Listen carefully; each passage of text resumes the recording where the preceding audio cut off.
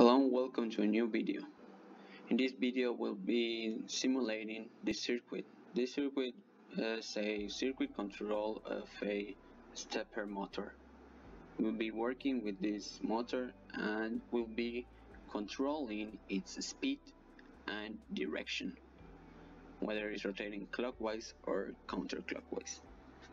So let's start by uh, giving brief explanations of each component. So the first one is the stepper motor. This motor uh, is an electromechanical component and it has two internal loads which will enable the motor to rotate, right? That's pretty much it and uh, here we have a integrated circuit which will get data from these wires and will output a a higher voltage mm, to the motor. That's pretty much what it will be doing in this circuit. And then we have the control part.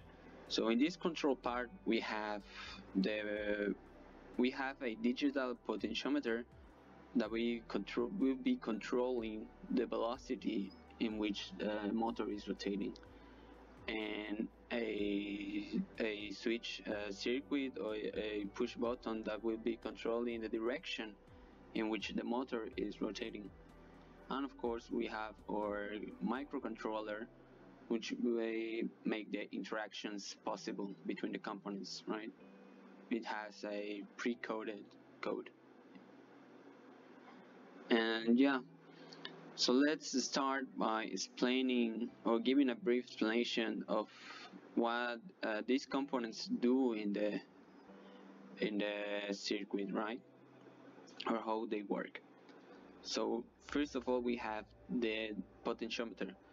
We know that this potentiometer will give an output voltage in this pin and will be being read read sorry by the analog pin A0 of the microcontroller so this pin will be reading the, uh, the output voltage okay and if the potentiometer is at 0% or at low percentage of the potentiometer the motor will rotate slower why that because the microcontroller will create a high delay a delay of uh, thousand milliseconds.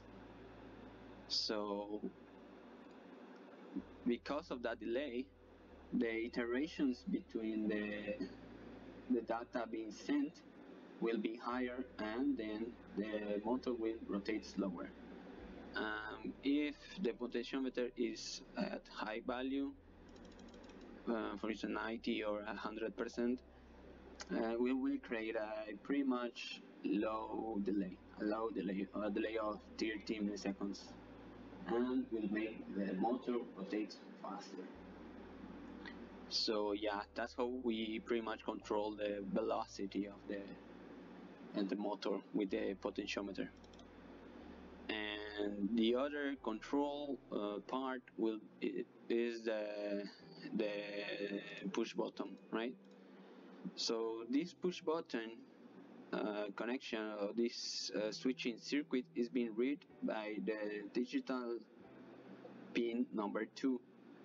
This pin will be waiting for the button to be pushed or the circuit to be closed. So when the push button is pushed, the circuit closes and uh, it the pin will get that, right? So it's waiting for the button to be pushed and when pushed it will do an action. That action is uh, changing the direction in which the motor is rotating. Uh, yeah that's pretty much it. And then uh, having that control how do you control that the motor is rotating and the speed? Will be controlled by the microcontroller. This microcontroller will be sending data from 4 to 7 pins. These are digital pins as well. So the pin number 4 and 5 will be sending the, the clockwise direction through the pins uh, 4 and 5 to the integrated circuit and this integrated circuit will give outputs of 50 volts which will activate only one internal load of the motor and therefore rotating in one direction. So if I press the button, I'll change uh, the direction. Therefore, the 4 and 5 pin will not be sending data and the 6 and 7 will. Uh, taking data from the 6 and 7 pins will, will activate the other load and the other will not be activated and then changing the direction of the stepper motor. So that's pretty much how this works. Let's see it in the simulation for you to make it, uh, for you to actually see it. So yeah, at the beginning, the motor is rotating clockwise. That's how it's programmed. So yeah, it's not, uh, let's make it rotating faster. You can see it's faster and when it's uh, lower or at zero percent it's rotating slower so let's put it at normal speed. And when the button is gets pushed you see how the direction changes. Let's see. Push and it changed in direct its direction. Pretty much safe right? So if I push it again it will change again. So that's pretty much what this uh, circuit does and the way it works. I hope you understand it well. And if you found it helpful or understandable please like the video and subscribe if you want for future videos. Thank you